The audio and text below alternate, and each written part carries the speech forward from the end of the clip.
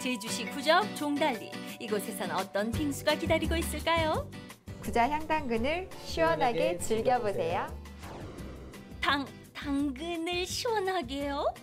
아, 당근 빙수라는 건데요. 이제 이쪽에 구자읍이 향당근으로 유명하잖아요. 그래서 그 당근을 이용해서 좀 더 색다르고 맛있는 메뉴를 개발해 보면 어떨까 해서 저희가 개발하게 된 메뉴입니다.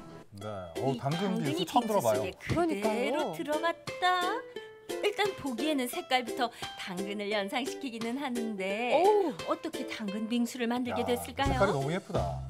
올레길 처음 걸을 때 남편이 저한테 당근 주스를 먹으러 가자고 하더라고요. 커피도 아니고.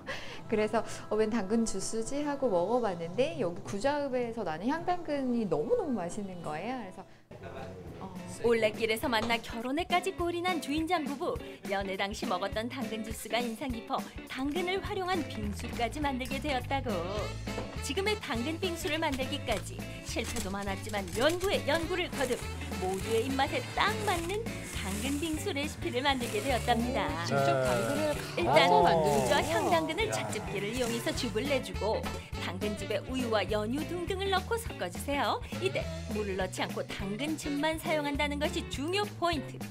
냉장고에서 잘 얼린 당근즙을 기계로 곱게 갈아주면 주황색 당근색을 고스란히 품은 야. 빙수 얼음 완성.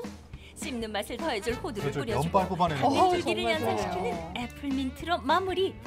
담백 한 맛이 일품인 다른 거 많이 안. 들어갔는데도 그러니까. 맛있을 것 저희가 같아요. 어울리는 토핑을 뭐 과일도 해보고 팥도 해보고 이것저것 많이 해봤는데 다 당근의 향을 죽이더라고요. 그래서 웬만하면 이제 당근의 향을 조금 더 잘 살릴 수 있는 레시피가 어떤 게 있을까 싶어서 막 이런 저런 예, 시도를 많이 해보다가 이제 좀 가장 간결하면서도 좀 깔끔한 느낌으로 가게 됐어요.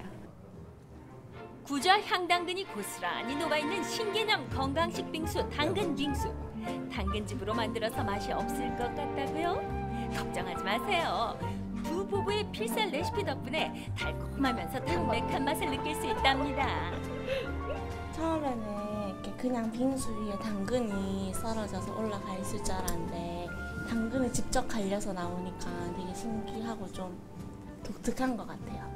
아무튼 당근 맛이 별로 안 나 생각보다 향은 조금 나는 것 같은데 이거는 이렇게 몸에도 좋을 것 같아요. 맛도 당근, 모양도 당근, 당근 빙수가 최고예요.